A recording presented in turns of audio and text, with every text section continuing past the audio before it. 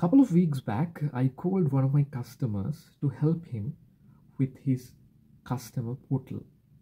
Now, if you're wondering what is customer portal, every insurance and investment provider has this portal, customer portal, where you can see all the information with relevant to the product that you have purchased. It could be an investment policy, it could be an insurance policy, whatever. In that portal, you can see all the information, the documents that you have submitted, um, terms and conditions, premiums you pay, everything is there. So it's good because you get to see what's the real picture about your policy.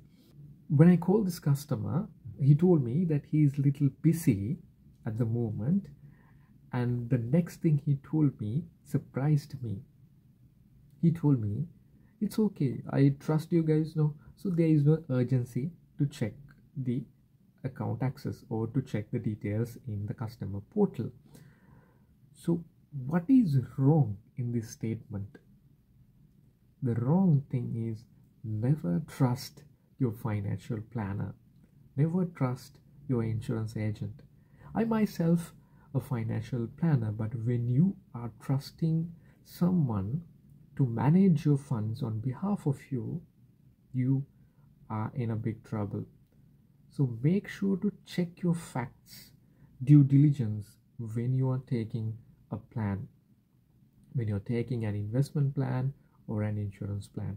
Ideally, you have to do it before you are taking the policy but still most of the providers will have this free look period where you can review your plan if you are not happy with the plan you can always get your money back.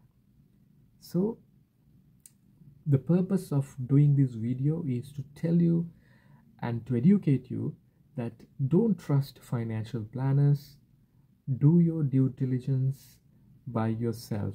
This financial planner might be your close friend and he, he has been a friend since your childhood could be a relative in whatever the case always do your due diligence.